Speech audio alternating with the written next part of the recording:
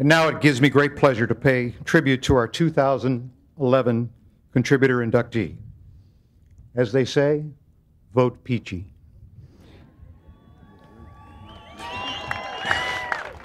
Peachy has been the driving force behind the development of women's tennis. Fern Lee Peachy Kellmeyer. To introduce her today, we welcome Ms. Stacey Allaster, the chairman and CEO of the Women's Tennis Association. Please welcome Stacey.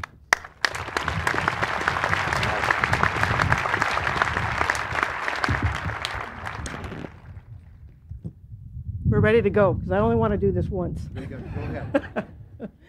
All right. Well, good afternoon, Mr. Chairman, and the assistant captain of the Vote Peachy campaign. We did it. Thank you.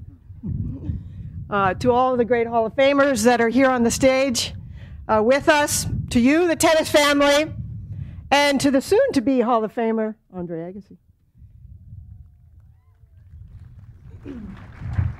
Uh, what a joy. What a great pleasure for me to stand here today in this historic place and introduce my friend and mentor, Peachy Kellmeyer. Peachy? yeah, let's give her applause.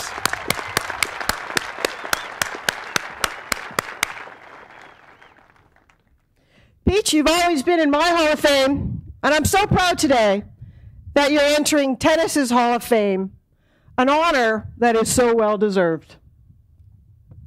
Peachy is the unsung hero of women's tennis. And thanks to today's induction, her story will now be known. So as I begin the story, I have to wind back the clock just a couple of years, just a couple, 1959, not many, where 15 year old Peachy was the youngest woman at the time to compete in the US Open.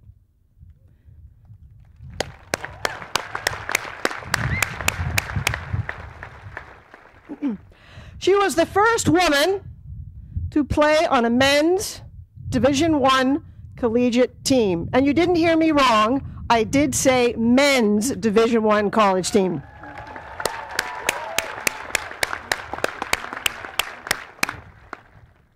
She went on to be a coach, and it was there she forever changed the future of athletics for women. In 1973, she, she sued to overturn the then widely accepted practice of universities refusing to grant scholarships for girls. The suit, known as the Kellmeyer case, was successful. And today, every woman who has a college scholarship should give thanks to Peachy.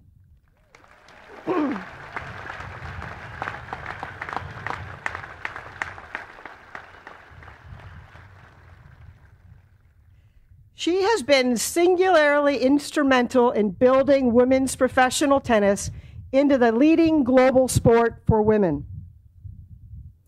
From organizing the first women's event in Madison Square Gardens to the unprecedented growth in prize money from 300,000 to today almost being 89 million. To the international expansion of the game, when she first started her journey where it was a primarily a US based circuit, to now 53 tournaments in 33 countries featuring 2,000 athletes from 100 nations.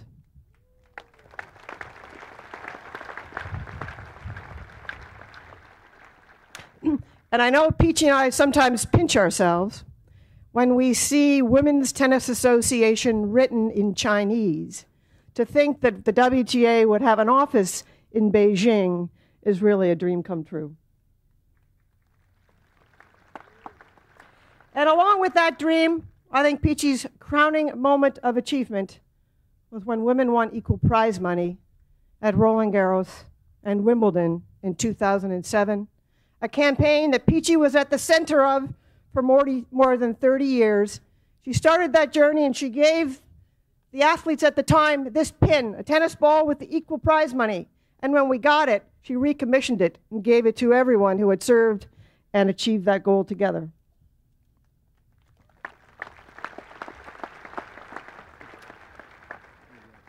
So much about Peachy. A few more uh, uh, interesting facts. She's the WTA's first employee when we opened our doors nearly 40 years ago. She's still coming to the office, keeping me on my toes, sharing her wisdom and experience in the uh, ever so diplomatic, uh, Peachy kind of way. And anyone who's worked with Peachy, you know what I'm talking about. I'm the ninth CEO to work under Peachy. She has always been our boss. And on behalf of myself, Bart McGuire, who's here, and Worcester and Larry Scott, former CEOs, and the CEOs who are here and are with us in spirit, we have been proud to serve with you, Peachy. She has been the glue of women's tennis, holding the WTA together as CEOs and players have come and gone, a constant force for 38 years, propelling women's tennis to unprecedented heights and never letting us forget that our past is our future.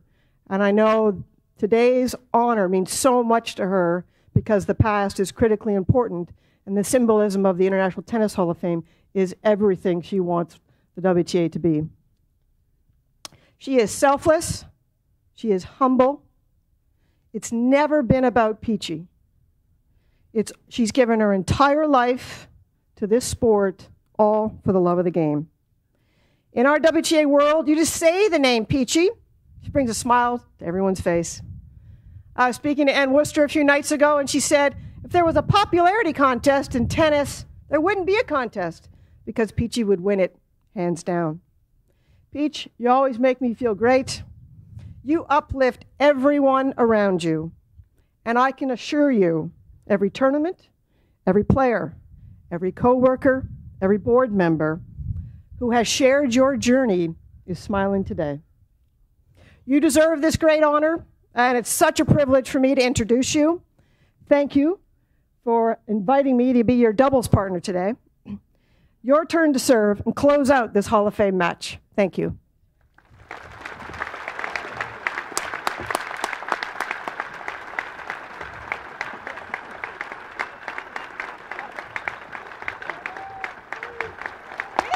Yes.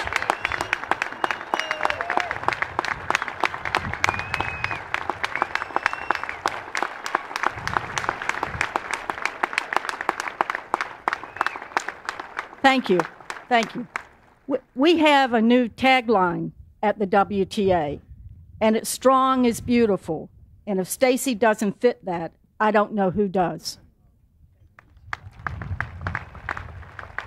She's short, but she's strong.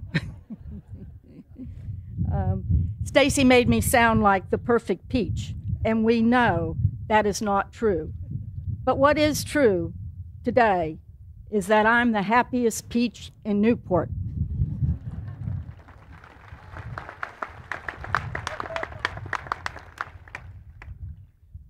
to the tennis fans here, to the Hall of Fame Board of Directors, to this elite group of Hall of Famers, to my family, and to my friends. For me, up here today, it just doesn't get any better than this. Thank you. Now, look, um, I know I'm not the main attraction today.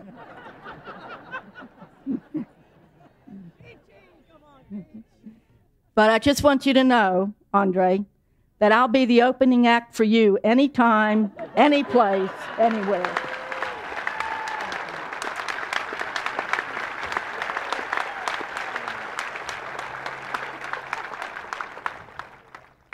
I always promised myself that if I had a moment on center court, I would thank the two women who really were responsible for laying the foundation of the tour and the WTA.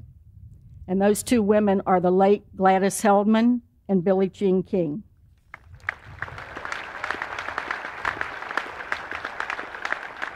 In 1970, Gladys founded the tour along with the original nine players led by Billie Jean King and Hall of Famer Rosie Casals.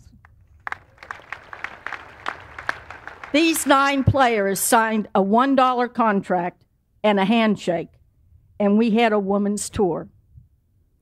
In 1973, Billie Jean founded the WTA at Wimbledon, along with 60 other women players. They had no contracts, but they had a, a lot of handshakes. And the good news for me was I had a job. Over these years, my greatest joy has been the privilege of working with the players. But just as satisfying for me has been working with some of the brightest and most talented tournament directors, sponsors, administrators, WTA board members, colleagues, and CEOs in our sport. I'm so pleased that many of them have come here this weekend to join in this celebration. So today, I have many friends to thank, but there is one woman who stood by me in good times and the not so good times. And she became the most powerful woman in tennis. She's my lifesaver, Stephanie Tollefson.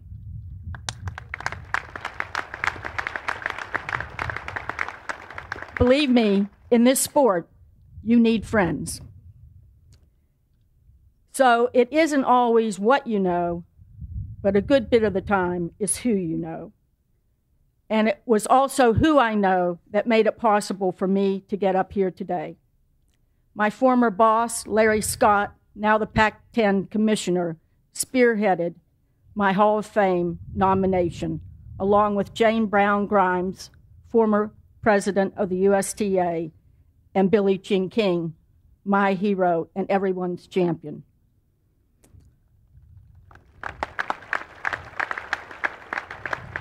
The next step after you get nominated, you have to get on the ballot and then you have to get the votes.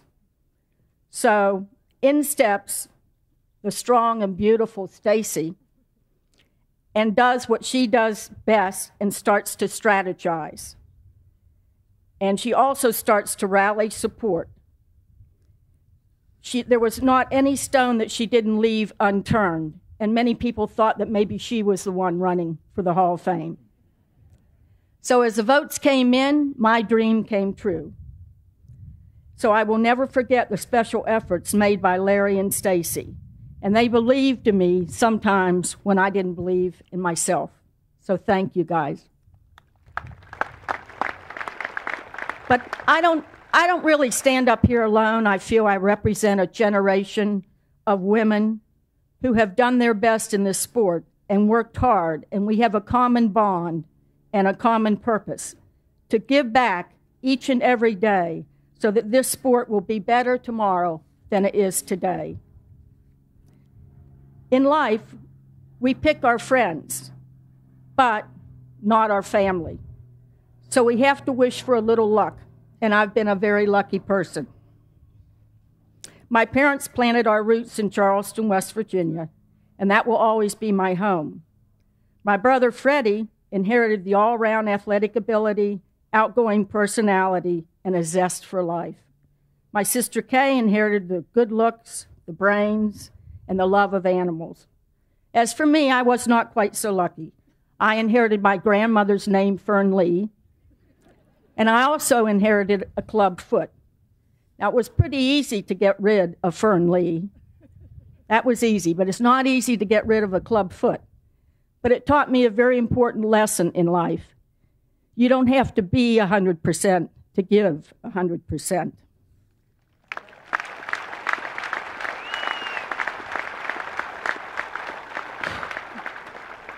Many of my family members are here today, and I just want to thank them so much and tell them I'm every bit as proud of them as they are of me.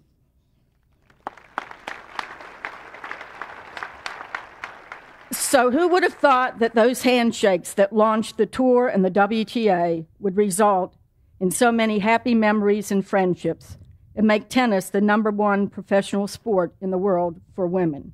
So, for me, my life is very simple. I love my family, my friends, and I love women's tennis. Thank you.